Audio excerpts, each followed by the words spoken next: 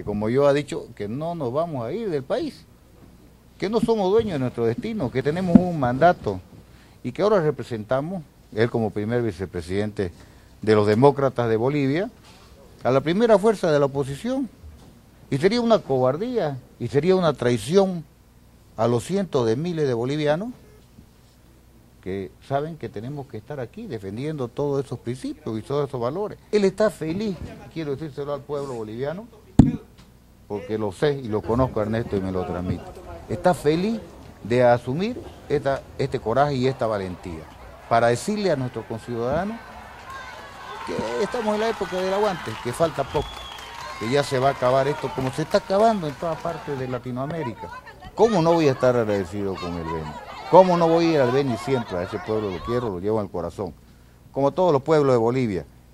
Entonces voy a volver siempre y no me van a correr, obviamente,